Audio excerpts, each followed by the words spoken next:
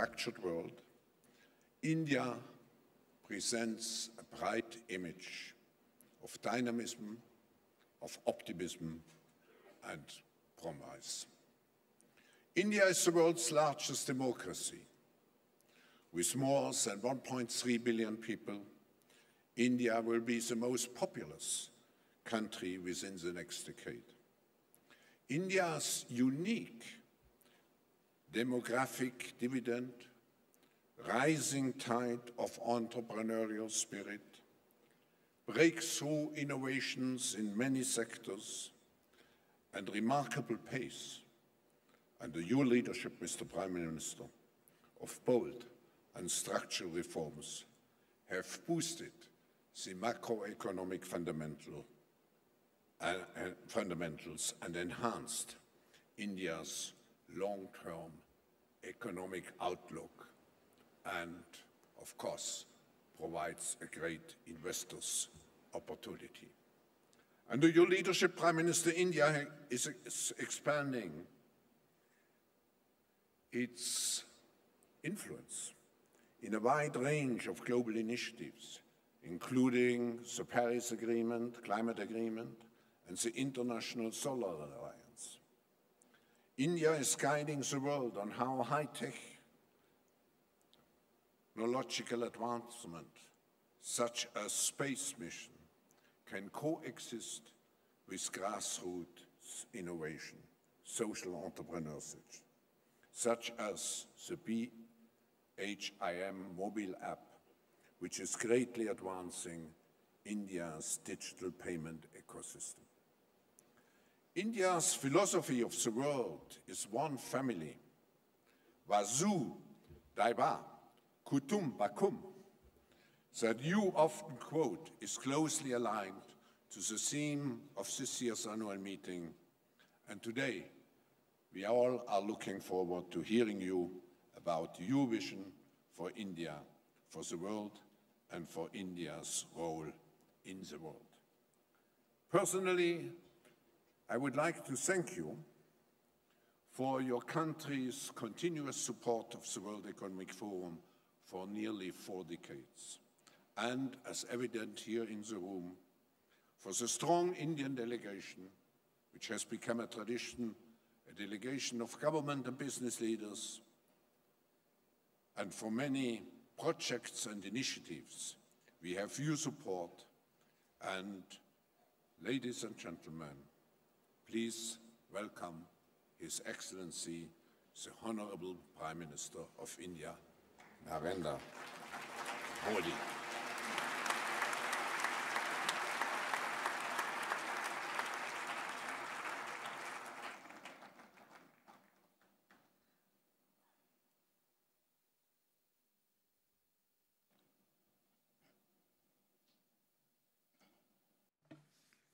His Excellency, His Excellency, the President of the Swiss Federation, honorable heads of the state and government, Honorable Heads of State and Government, World Economic Forum के संस्थापक, Founder and Executive Chairman of the World Economic Forum, Mr.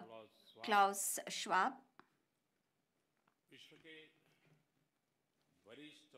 senior and eminent entrepreneurs, industrialists, and CEOs from all over the world,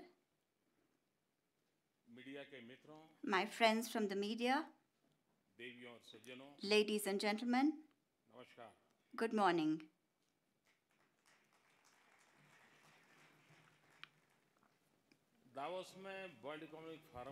I am delighted to be here with you in Davos for the 48th annual meeting of the World Economic Forum. At the outset, I wish to uh, sincerely commend Professor Klaus Schwab for his vision and initiative and for making the World Economic Forum a premier and global uh, platform. As per his vision, he has also a very ambitious uh, agenda, and the objective of his agenda is to improve the state of the world. And uh, he has uh, strongly linked this agenda with uh, economic and uh, political thought. I would also like to express my my gratefulness to the government and people of Switzerland for the warm welcome and uh, gracious hospitality that has been extended to me. Friends, the last time and Indian Prime Minister was in Davos was in 1997 when Mr. Deve Gowda uh, had uh, come to Davos. In 1997, India's GDP was just a little more than uh, $400 billion. And now Two decades later, it is about six times that amount. That year, the theme of this forum was Building the Network Society. Today, 21 years later, when we see the achievements of technology and the digital age, then this subject uh, of 1997, it seems that it's a centuries old subject. It was uh, uh something from an era gone by. Today, we are not just a network society, but we are living in the world of big data, artificial intelligence, and cobots. In 1997, the euro was not yet a currency that was being used, and the Asian financial crisis was nowhere on the horizon, and nor were there any signs or indications of Brexit in 1997, very few people had heard of Osama bin Laden, and Harry Potter was also an unknown name. At that time, computer programs were yet to seriously threaten human chess players. 1997, Google was yet to be launched in cyberspace. And in 1997, if uh, you had done a search on the internet uh, for the word Amazon, most of the results would have been about a river or a thick jungle. At that time, tweeting was done only by birds, not by human beings. That was the last century. And now, some two decades later, we live in a world, we live in a society that is a network of many complex networks. At that time as well, Davos was obviously ahead of the curve, and this World Economic Forum was a precursor for the future. It was indicative of the future. Today as well, Davos is a lot ahead of its times. This year, the theme of the forum is uh, creating a shared future in a fractured world. This means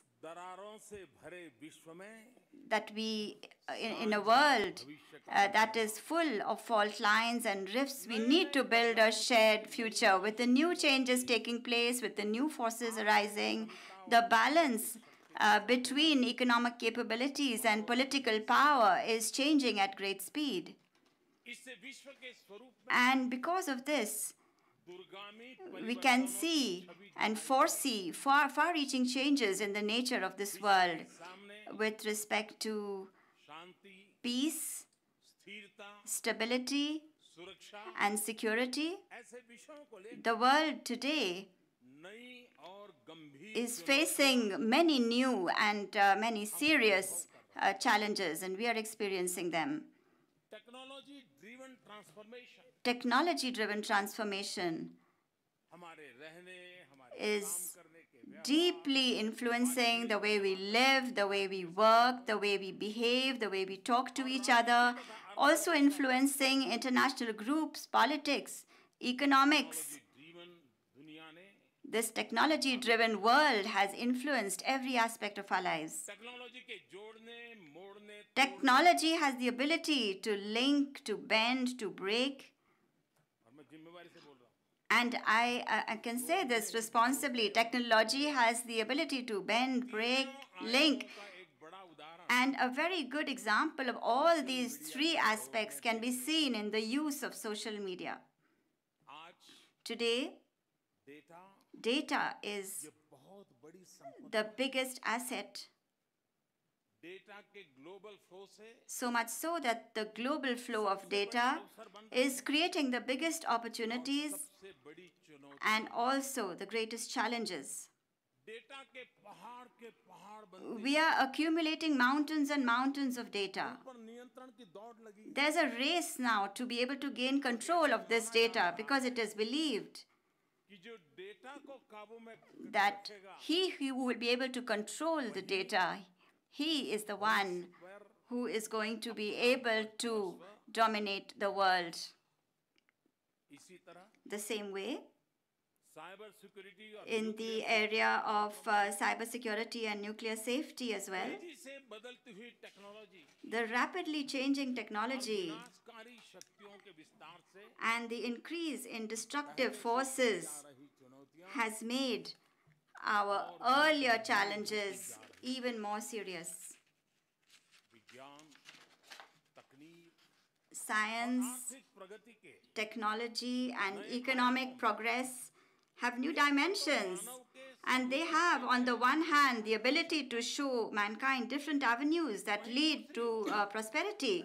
And on the other hand, these changes are also creating fault lines and rifts that can inflict a very painful wound.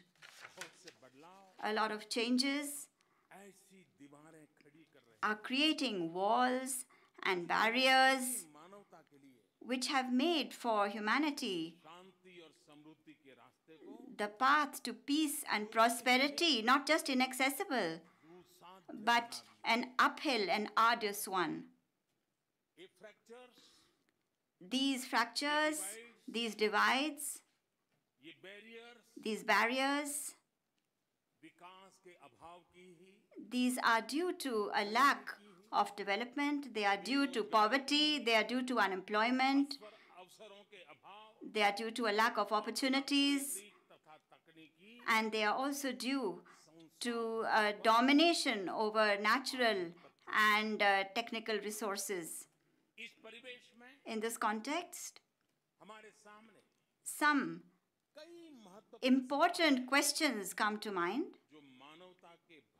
which require some adequate answers for the legacy, for the kind of world we leave for future generations and for the future of humanity. Is our global order widening these fault lines? Is it increasing these distances?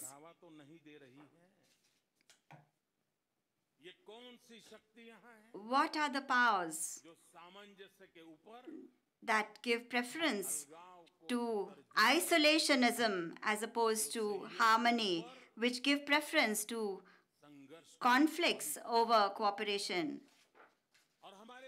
And what are the means that we have available to us today? What are the paths that we can follow through which we can eliminate these rifts and these distances. How can we eliminate these uh, rifts, these distances? And how can we realize the dream of a beautiful shared future? Friends, being a representative of India, of Indianness and Indian heritage, for me, the subject of this forum, the theme of this forum is as contemporary as it is timeless. Timeless because since time immemorial in India, we have only believed in linking people not in breaking them and not in dividing them. Thousands of years ago, in the first scriptures written in Sanskrit, Indian thinkers said, and which was uh, mentioned as well by Professor Schwab in his speech a short while ago, and that is Indian thinkers said. Vasudhaiva Kutumbakam. Vasudhaiva Kutumbakam. This means all the world is one family. This means that all of us we are linked together as one family. Our destiny has a common thread that links all of us. This ideology of Vasudhaiva Kutumbakam, it is today certainly more meaningful to eliminate all these fault lines and uh, distances. It is very relevant to us today in today's world. However, there is a very serious matter that in order to fight the formidable challenges that we face today in the world, there is a lack of consensus between all of us. Even in a family, there can be, on the one hand, harmony and cooperation. There can also, at the same time, being some differences, some fights. This happens. However, the essence of a family lies in the fact that when there is a common challenge that presents itself, there is a feeling of solidarity and everyone comes together to fight it. And through their solidarity, members of a family become stakeholders in sharing joy and sharing the achievements. But it is a matter of concern that the divisions between us the rifts, the fault lines between us. They have made these challenges and mankind struggle against them all the more complex and much harder. Friends, the challenges that we face today are as numerous as they are daunting.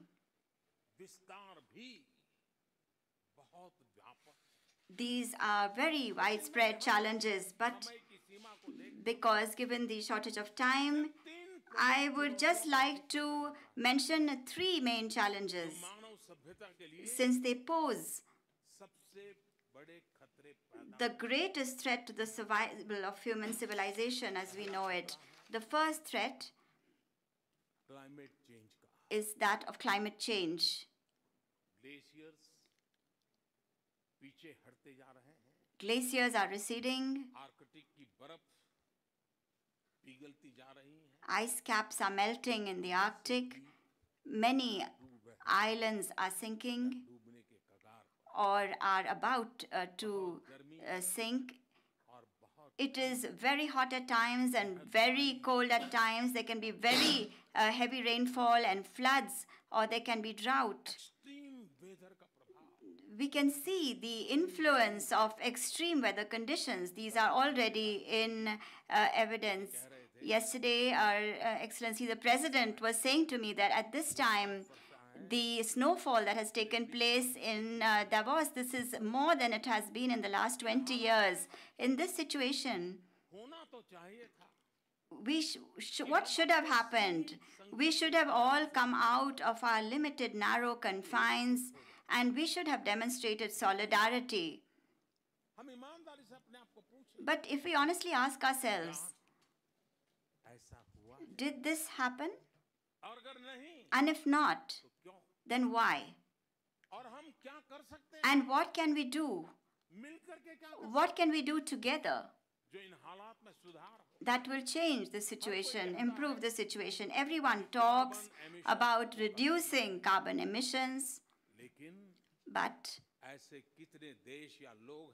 but there are very few people or countries who back their words with their resources to help developing countries to adopt appropriate technology. Very few of them come forward to help. You must have often heard about the the deep bond that there is between uh, Indian traditions and nature. Our culture, our traditions have often repeated this fact. thousands of years ago.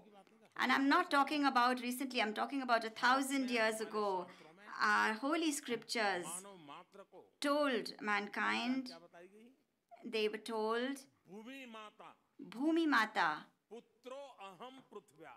Putro aham putya. That means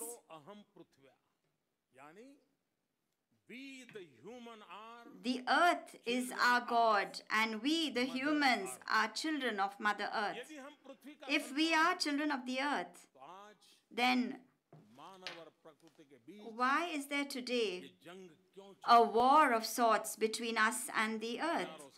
Thousands of years ago, in the first Upanishad written in India.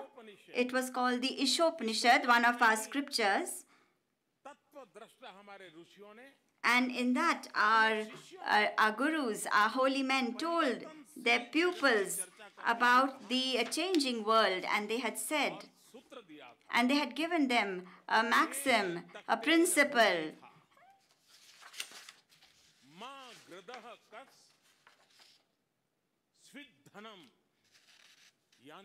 This means stay in the world and enjoy it, but be frugal, make sacrifices, and don't have greed for somebody else's assets and wealth. Two and a half thousand years ago, Lord Buddha gave consumption as per needs a key place among his principles. The father of our nation, Mahatma Gandhi, also gave us a trusteeship uh, principle. And he also told us that we need to consume and enjoy uh, things as per our needs. But he was categorically against greed-based exploitation. So it is really something that we must think about. How have we moved from a very frugal consumption to need-based consumption? And then now we are looking at greed-based uh, consumption. Our behavior has been deteriorating. We are only focusing on our own happiness and we have even exploited uh, nature and the planet for our own desires. We have to ask ourselves, has this been development or has this been our downfall? This very bad state of our mind, an alarming glimpse of our selfishness, Why does it not oblige us to introspect? If we think about it, we will find that uh, for the uh, current frightful negative impacts on the environment today, there is a perfect remedy. Ancient Indian philosophies, harmony between man and nature. Not just that, the overall approach of Indian traditions uh, like yoga and Ayurveda that resulted from this uh, philosophy can not only heal the fractures between the environment and us, but it can also give us physical, mental, and spiritual health and ba balance. To save the environment and to fight climate change, my government has planned a very big campaign. It has given itself a very ambitious objective. By the year 2022, in India, we want to produce 175 gigawatts of uh, renewable energy. This is a very big target for a country like India. And in the last three years approximately, we have achieved 60 gigawatts. That means a third of our objective has already been achieved by us. In 2016, India and France had together they had envisioned a new international treaty based organization. This revolutionary step is today a successful exercise. The International Solar Alliance uh, Initiative after the necessary treaty ratification processes has now become a reality and I'm very pleased that this year in the month of March on the joint uh, invitation of the President Macron of France and myself, all the member countries of uh, this alliance will come to New Delhi to participate in the first summit of this alliance. Friends, the second biggest uh, challenge is terrorism. And in this context, you are all well aware of India's concerns and also the increasing and changing nature of the serious threats posed to mankind all over the world. All governments of the world are well aware of these challenges, and therefore I don't want to go into the detail. And neither do I want to take up too much of your time on this topic. I just want to cut it short, and just I want to focus on two aspects related to terrorism. Terrorism is dangerous. but equally dangerous is the artificial distinction created between good and bad terrorists. Secondly, the other serious contemporary aspect to which I wish to draw your attention, it is that educated, well-to-do youth are being radicalized and getting involved in terrorism. I hope that this forum will discuss solutions to the fault lines created by terrorism and violence and the serious challenges that we are facing today I hope that you will be able to find solutions. Every speaker is going to say something, and that isn't really going to move us forward, friends. Uh, the third uh, challenge, and uh, when I look at this uh, third challenge, I see that many societies and countries are becoming more and more focused on themselves. It feels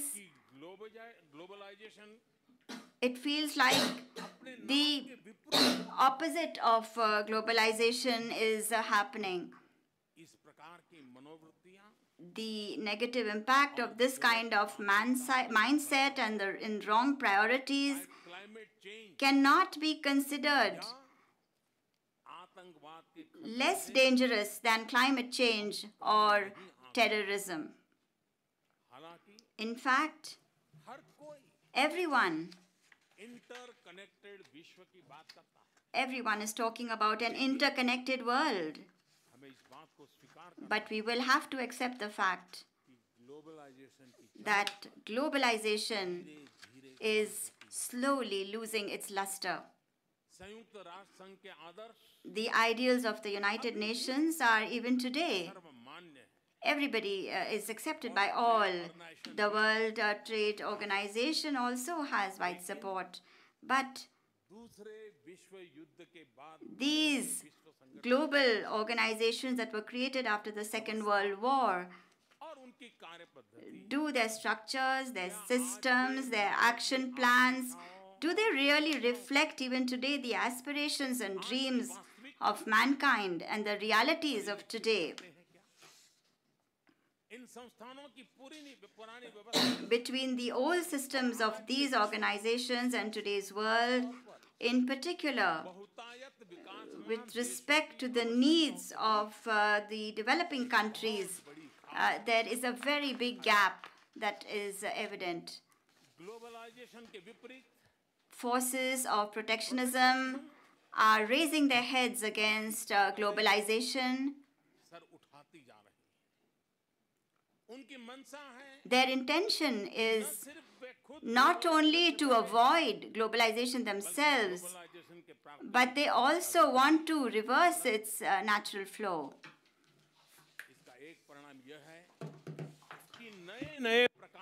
The result of all this is that we get to witness new types of tariff and non tariff barriers, bilateral and multilateral trade agreements and negotiations have come to a kind of standstill. Most nations have seen a decrease in cross-border financial investment. Further, growth in the global supply chain has also stopped.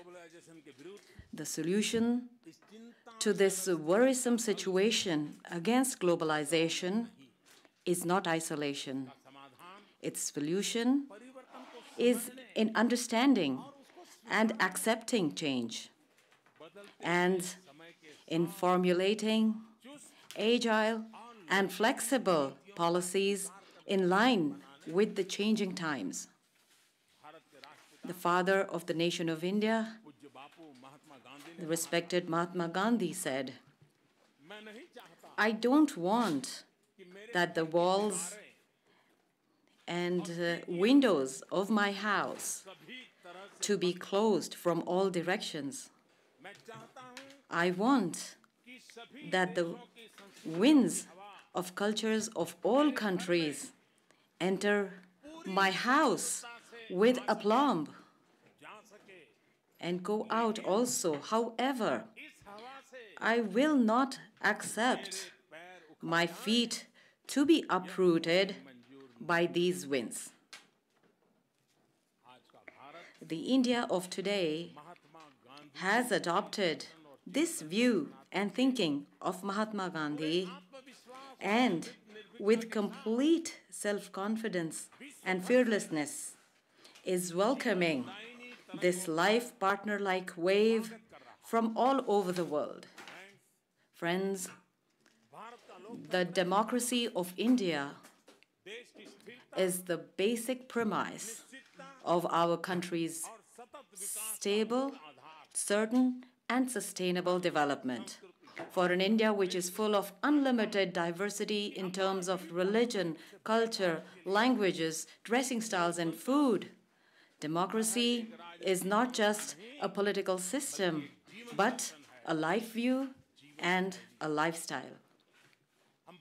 We Indians very well understand the importance of a democratic environment and freedom in changing the plurality of diversity to a unity of cordiality, support, and resolution. In India, democracy not only nurtures our diversity, but also provides the required environment, roadmap, and template for fulfilling, for fulfilling the hopes, aspirations, and expectations of more than 1.25 billion Indians and for their adequate development. Democratic values and inclusive economic growth and development have the power to repair and heal all cracks like Sanjeevani, the life saving herb.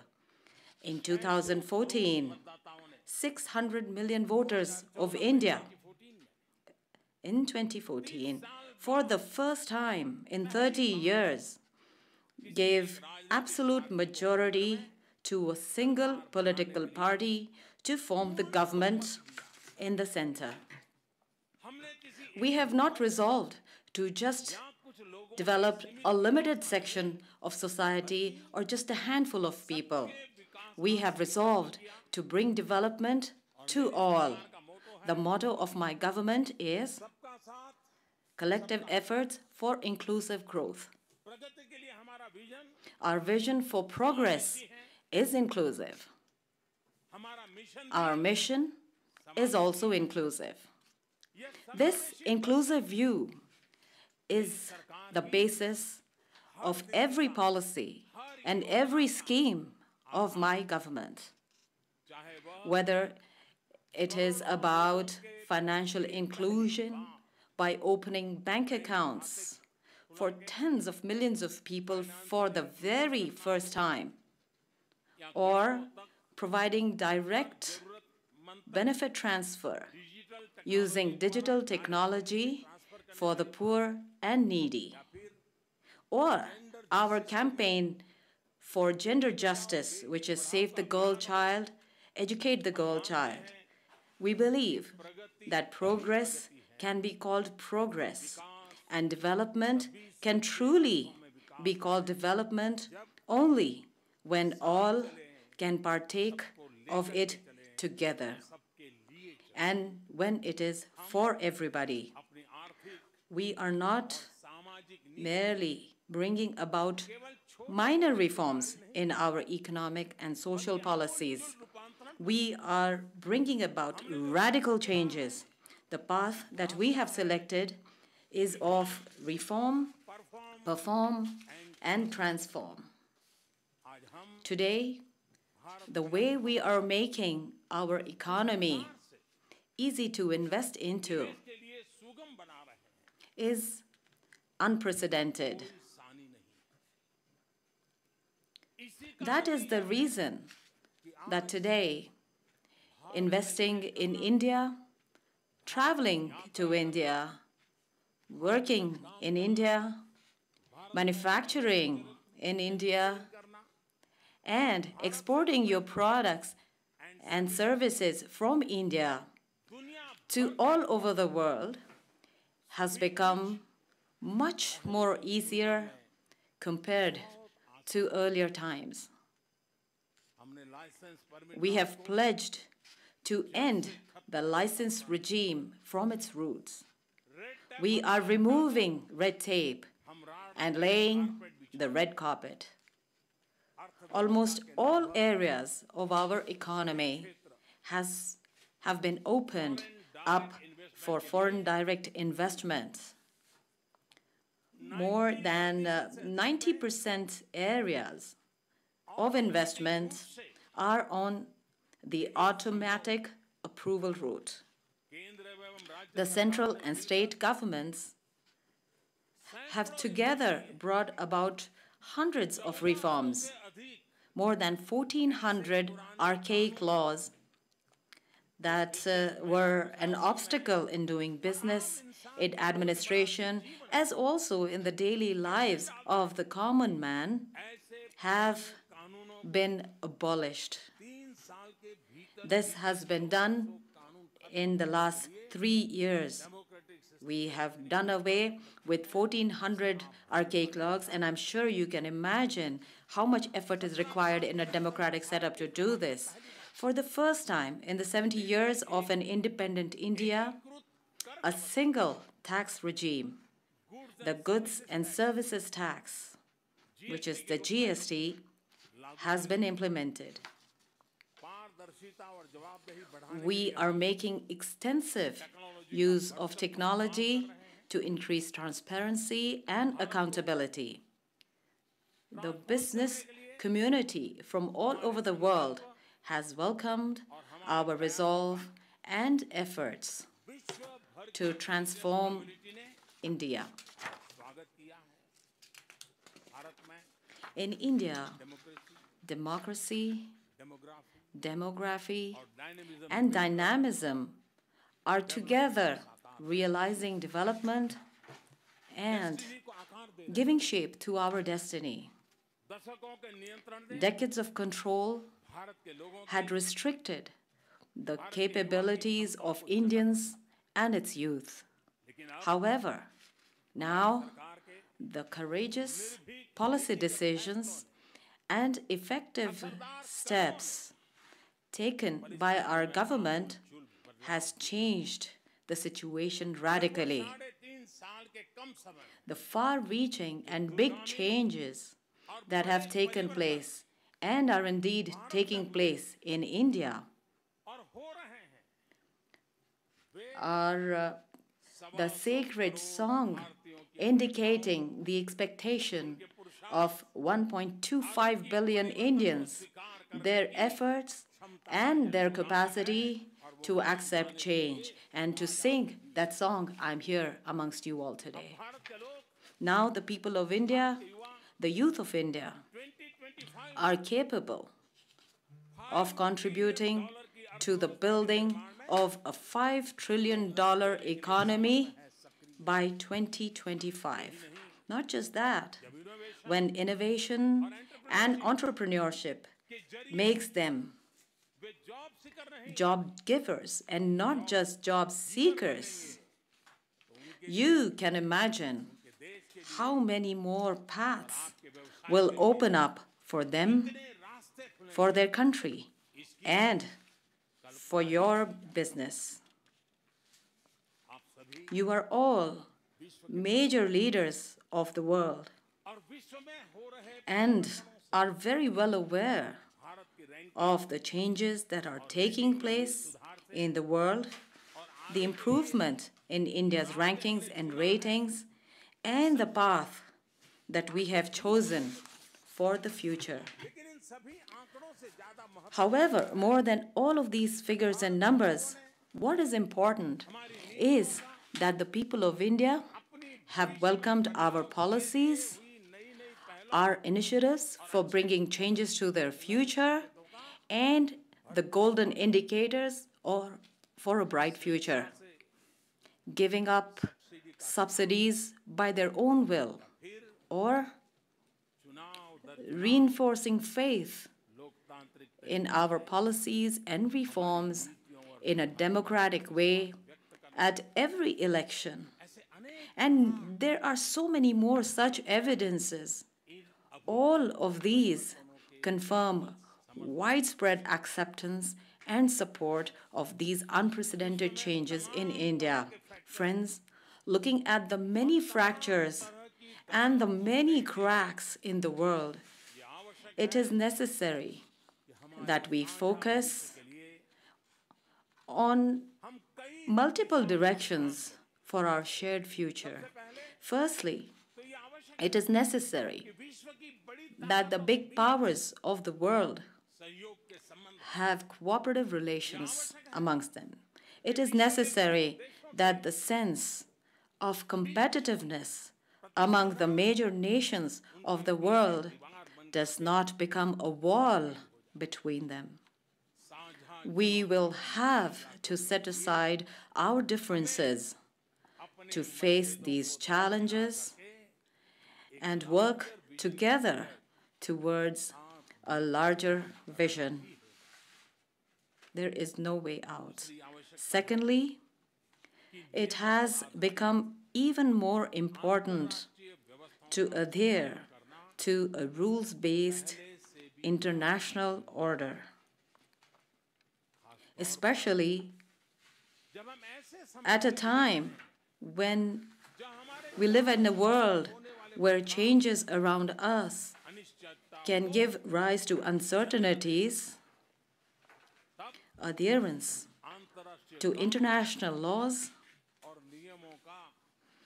and regulations in the right spirit is important and necessary. the third important thing is that we need to bring reforms in the major institutions of the world connected with politics, economy, and security. Participation and democratization in these institutions must be done in line with the current situation. The fourth important thing is we will need to bring more speed to the economic progress of the world. In this regard, the recent indicators of economic growth have been encouraging. Technology and digital revolution bring about possibilities of such new solutions which will help us in combating old issues like poverty and unemployment in a new way.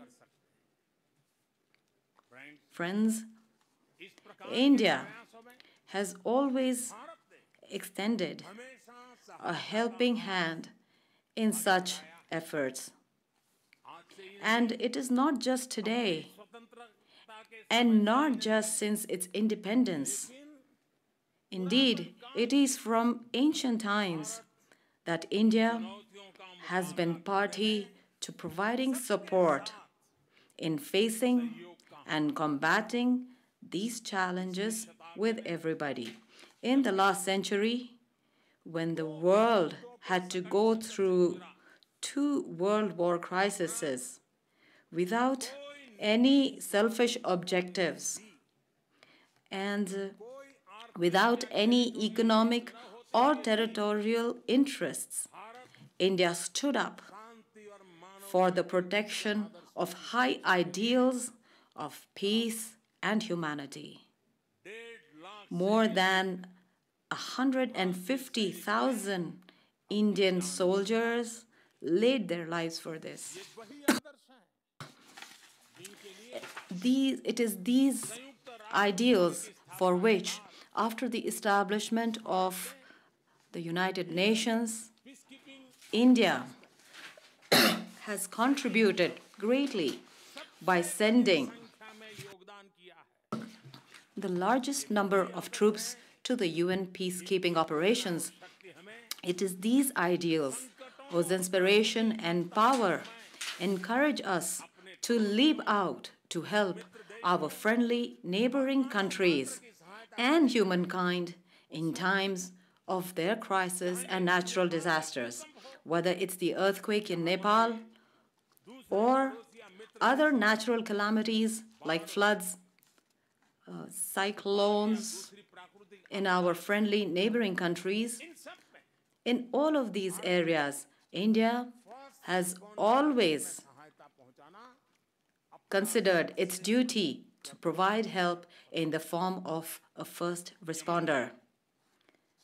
In Yemen, when violence hit the area and victimized not only Indians but citizens of many countries, we used our resources and safely evacuated not only Indians but around 2,000 people of other countries out of Yemen. Despite being a developing nation itself, India has proactively cooperated in development cooperation and capacity building. Whether it's any country in Africa or neighbors of India or the countries of Southeast Asia or the Pacific Islands. In all of these, the outline of our support and our projects are based on the priorities and needs of these countries. Friends, India has never had any political or geographical ambitions. We do not exploit the natural resources of any country. In fact, we join hands with that country, and along with that country, we bring about development in that country as per their priority. In the Indian subcontinent, hundreds of years of cordial coexistence of diversity has resulted that today we believe in a multicultural world and a multipolar world order.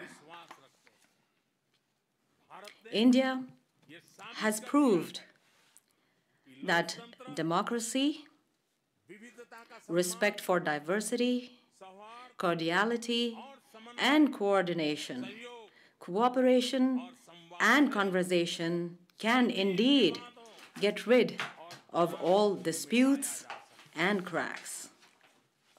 This is a tried and tested formula of India for peace, stability, and development.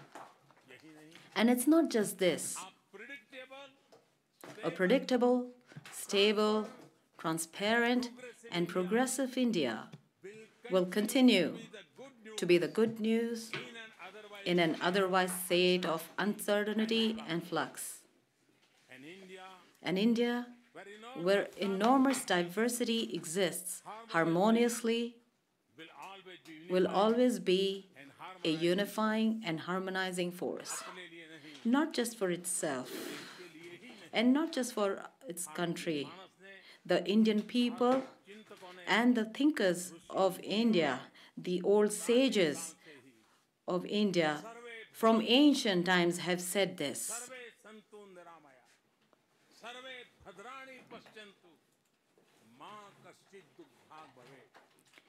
This is a shlok in Sanskrit which means that all should be happy, all should be healthy, there should be welfare for all, and there should be no sadness. This is my dream. This dream has been seen for thousands of years, and they have also shown us how to obtain these ideals and how to realize these dreams. And this path, indeed, if you actually venture on it, is very easy.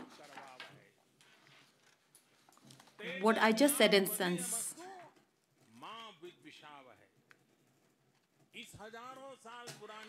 This thousands of year old Indian prayer. It means that we should all to get together and work together.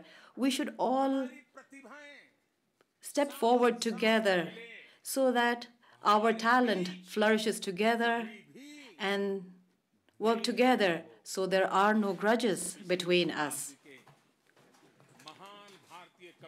The great poet of India and Nobel laureate from the previous century, Mr. Rabindranath Tagore had imagined a heaven of freedom, and he said about it, where the world has not been broken up into fragments by narrow domestic walls.